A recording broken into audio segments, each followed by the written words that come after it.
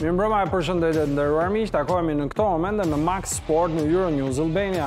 Do të flasim për lajmet e fundit të ditës. Jemi në javën e garës në botërorin e Formula 1, por gjithashtu edhe më pak se 24 orë nga miqësorja e dytë dhe e fundit që kuqezinjtë do të zhvillojnë në rrugën drejt përgatitjeve finale për të shkuar në kampionatin Europian Gjermani 2024. Le të shohim temat kryesore që kemi përgatitur për ditën e sotme.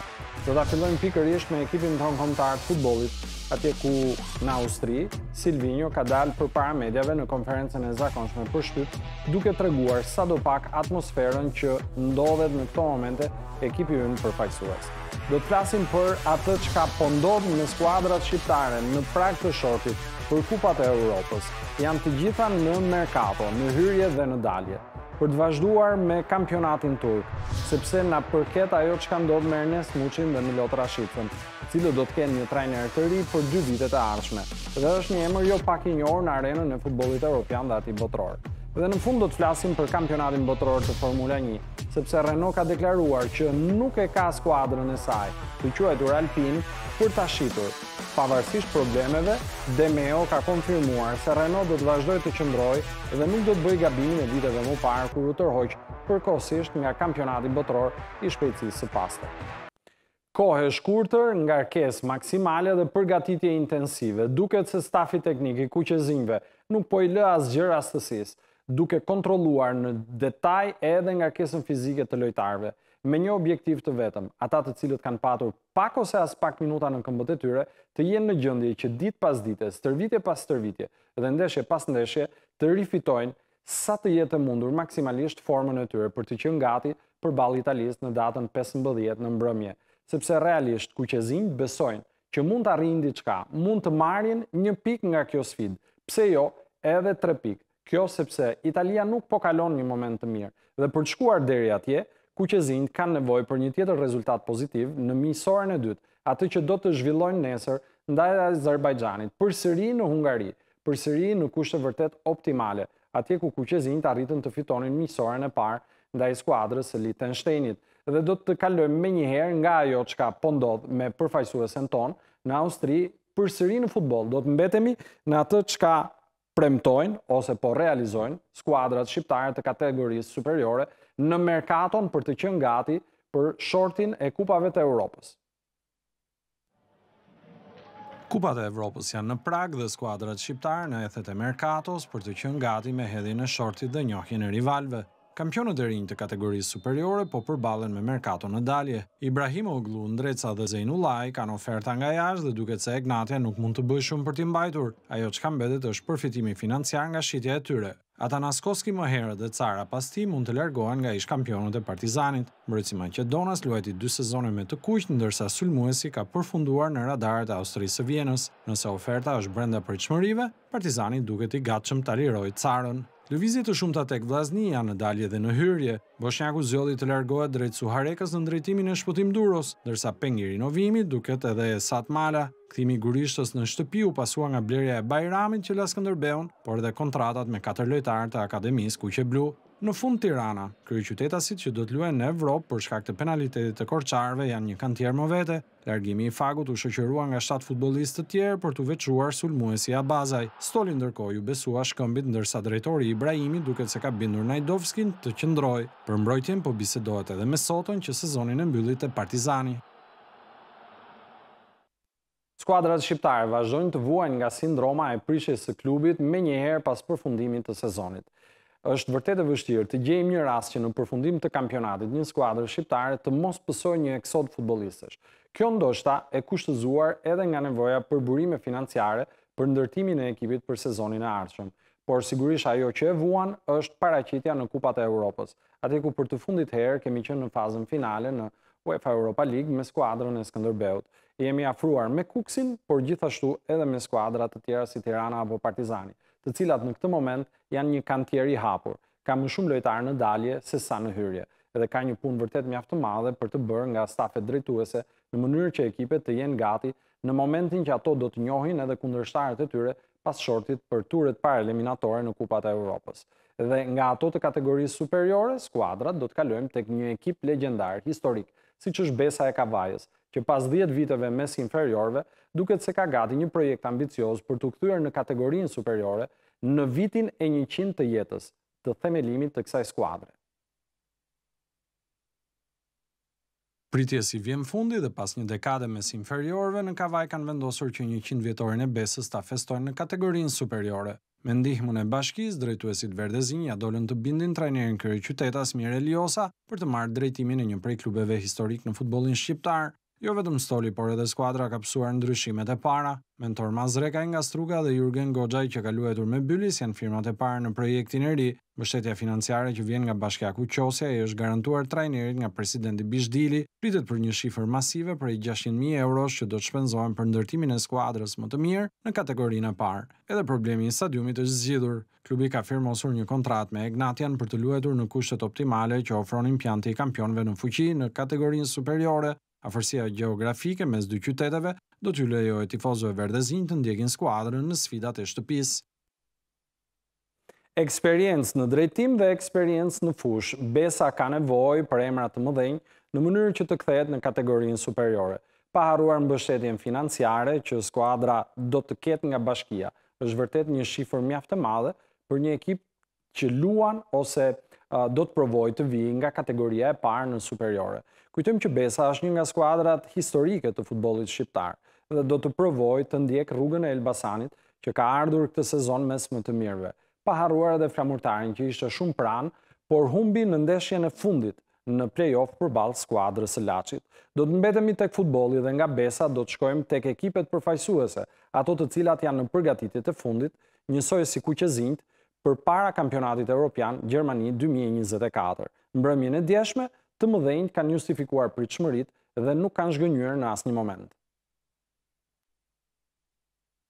Kur duhen edhe tetë ditë nga fillimi i Gjermani dy mijë e njëzet e katër, pjesëmarrësit nxitojnë t'u japin dorën e fundit përgatitjeve për fazën finale. Me këtë objektiv, luajtën dhe fituan miqësoret e radhës pretendentë si Franca dhe Spanja, por nuk mbetën pas as Belgjika dhe Danimarka. Të mëdhenjtë e të mërkurës nuk i lanë asgjë rastësisë, duke mos zhgënjyer aspak. Dymbëdhjetë gola në katër ndeshje ndaj rivalësh jo të gjithë modestë, I pritshëm suksesi iberik në derbin ndaj Andorrës me tregolëshin e Oyarzabal në pjesën e dytë, ndërsa sfidën që hapi Perez e mbylli Torres në shtëpi.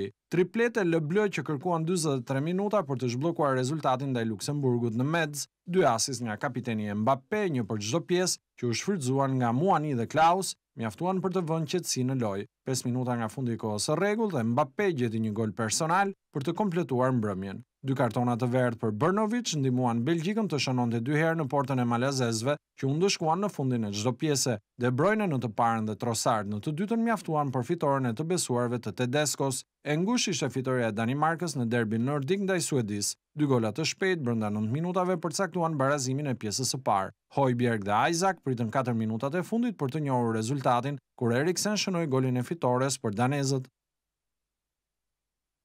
Franca dhe Spanja janë dy ekipe përfaqësuese që shihen si ndër pretendentet për të fituar Kampionatin Europian që do të zhvillohet në Gjermani. Franca diçka më përpara, Spanja edhe pse në rindërtim, ka ende petkun e një ekipi vërtet të rrezikshëm.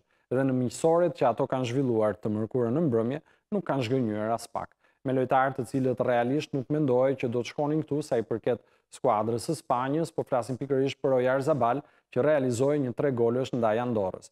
Vërtet një skuadër e vogël, por që mjafton për rritjen psikologjike të iberikëve në pritje të kampionatit evropian. Sa i përket Francës, ka qenë një sfidë ku nuk e rrezikuan aspak fitoren. Madje filluan edhe të bëjnë shaka me njëri-tjetrin duke mos kryer zëvendësimin në kohën e duhur, ashtu siç ndodhi në rastin e Griezmann dhe Giroud-s.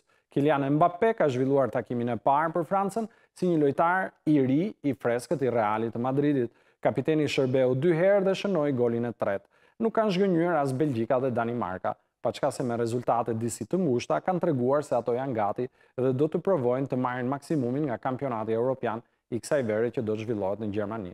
Do t'i lëmë edhe një herë ekipet përfaqësuese për t'u kthyer tek klubet, tek një klub që ka pjesë të tij dy futbollistë shqiptarë, Muçin dhe Rashicën.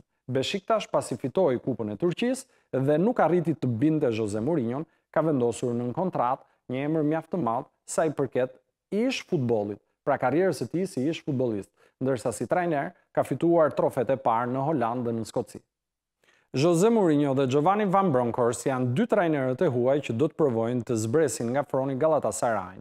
Në sezonin e fundit, pesë nga gjashtë vendet e para u okupuan nga skuadra të Stambollit dhe dy prej tyre kanë trajnerë të huaj. Skuadra e Fenerbahçes që prezantoi portugezin pak ditë më parë dhe tani Beshiktash me Muçin dhe Rashicën, por kush e di, mund të kemi një tjetër futbollist shqiptar që do të shkojë atje. Bëhet fjalë për një nga emrat e lënë jashtë kombëtares nga trajneri Silvinjo. Dhe do të shkëputemi tani nga futbolli për t'u kthyer tek Formula një. Do të flasim për Renault dhe skuadrën e saj, Alpine. Është një skuadër e cila nuk e ka nisur mirë sezonin. Ka vetëm dy pikë dhe ndodhet në vendin e nëntë të klasifikimit për konstruktorë. Problemet nuk kanë të sosur për Alpine, megjithatë drejtuesit e Renault-s besojnë se mund të jenë në gjendje të ndërtojnë një skuadër kompetitive duke filluar nga viti dy mijë e njëzet e gjashtë, kur do të hyjnë në fuqi edhe rregullat e reja të cilat janë prezantuar sot nga Formula një dhe për to do të flasim në transmetimin në Speed Zone pikërisht në fundjavë, të shtunën dhe të dielën, kur do të jemi në transmetim të drejtpërdrejtë me çmimin e madh të Kanadasë, në Euronews, por edhe në In Radio. Për t'u kthyer tek Alpine, nuk është vetëm problemi i rezultateve, por edhe raporti mes dy pilotëve, Pierre Gasly dhe Esteban Ocon, të cilët u përfshinë në një incident vërtet qesharak në çmimin e madh të Monte Carlos në rrugët e Monakos. Një pilot si Esteban Ocon, i cili në provat e para të lira të Kanadasë do të zëvendësohet nga Jack Doohan. Duket se kjo është lëvizja që ka ndërmarrë Alpine për ta penalizuar Esteban Ocon për atë çka ndodhi me Pierre Gasly. Për më tepër, ka zyrtarizuar dhe largimin e tij në fundin e këtij sezoni. Ndërkohë që nuk dihet ende nëse do të zyrtarizojë apo jo me Pierre Gaslyn duke qenë një nga skuadrat që nuk ka asnjë pilot të konfirmuar për vitin dy mijë e njëzet e pesë. Do të mbetemi në Botërorin e Formula një dhe do të flasim për Red Bull, që pak orë më përpara zyrtarizoi Checo Perezin. Megjithatë, Helmut Marko ka zbuluar një insinuatë, një prapaskenë, atje ku duket se Sebastian Vettel ka qenë i interesuar dhe ka shqyrtuar mundësitë për një kthim të mundshëm në shtëpinë tek makina në bordin e së cilës ai u rrit, u zhvillua dhe fitoi katër tituj radhazi në Botërorin e Formula Një. Sebastian Vettel është një ndër pilotët më të rëndësishëm që kanë kaluar në rrugët në pistat e Formula Një. Një pilot i cili ka provuar që të garojë, të testojë edhe hipermakinën Porsche në 24 orët e Le Mansit. Një pilot i cili është ende në listat e skuadrave për vitin 2025. Gjermani ka provuar dhe ka deklaruar se nuk ka dëshirë, nuk ka ndërmend që të kthehet kaq shpejt, pra të tërhiqet nga pensioni i tij. Kujtojmë që dy vite më parë, ai u largua nga Formula një pas dy viteve kontratë tek Aston Martin. Gjashtë vite tek Ferrari nuk arriti ta kthente në majën e podiumit në histori, në vendin e lavdishëm, atje ku e kishte lënë Kimi Raikkonen. Por me sa duket Sebastian Vettel familjen e përdor vetëm thjesht si një justifikim, si një kamuflim, sepse ai ende e ndjen, ende është i joshur nga shpejtësia dhe nga makinat e Formula një. Një pilot që do donte të kthehej tek Red Bulli, por ashtu si Ricciardo, me sa duket ka parë që vendimi i skuadrës për të rinovuar me Sergio Perezin ishte diçka që i ka shuajtur shpresat e tij. të paktën për dy vitet e radhës. Por, ditët në vazhdim, ne do të shohim dhe do të kuptojmë nëse vërtet Gjermani është gati të presë dy vite, apo do të firmosë me një skuadër në vitin dy mijë e njëzet e pesë. Kujtojmë që Audi ka një vend bosh dhe nuk është çudi që të formojë një çift pilotësh gjermanë, përkrah Nico Hulkenberg të vendosë katër herë kampionin e botës me Red Bullin. Dhe do të shkëputemi tani nga Formula një për të folur për eventin më të madh të sportit që zhvillohet në një vit kalendarik. Po flasim për Lojërat Olimpike, për atë çka do të ndodhë në Paris, pesëdhjetë ditë duke nisur nga sot. Kryeqyteti francez, ditë pas dite, është duke u bërë gati për këtë event madhor. Kulla Eiffel në Paris do të stoliset me unazat e Lojërave Olimpike për të shënuar pesëdhjetë ditë nga Olimpiada që do zhvillohet në kryeqytetin francez nga njëzet e gjashtë korriku deri në njëmbëdhjetë gusht. E pozicionuar në krahun jugor mbi lumin Sena, logo do të jetë e dukshme prej së largu gjatë tërë ditëve të Lojërave Olimpike. Më shumë se dhjetë mijë atletë, mes tyre dhe përfaqësuesit nga Shqipëria do të marrin pjesë në ceremoninë e hapjes me një paradë përgjatë lumit Sena, që do të përshkojë një distancë prej pesë pikë nëntë kilometrave. Kulla Eiffel do të ketë një rol të rëndësishëm në këto Lojëra Olimpike dhe Paraolimpike. Setet e medaljeve që do të shpërndahen për fituesit do të kenë përbërje të hekurit nga kulla legjendare. Një vend i cili ende nuk e ka përcaktuar nëse garat e notit do t'i zhvillojë apo jo në lumin Sena. Është një objektiv vërtet ambicioz, të cilin pak muaj më parë, francezët ishin të bindur se do ta realizonin, por në këto momente është vënë në pikëpyetje. Kemi ardhur në fund edhe për sot, në Max Sport në Euronews Albania. Edicioni i fundit i javës, takimi i radhës do të jetë të shtunën dhe të dielën në Speed Zone, Ndërkohë, për të rejat e fundit nga vendi, rajoni dhe bota, ndiqni Euronews Albania në platformat tokësore dhe satelitore, ndërsa në internet në adresën euronews.al. Edhe një herë faleminderit, bashkë mirupafshim!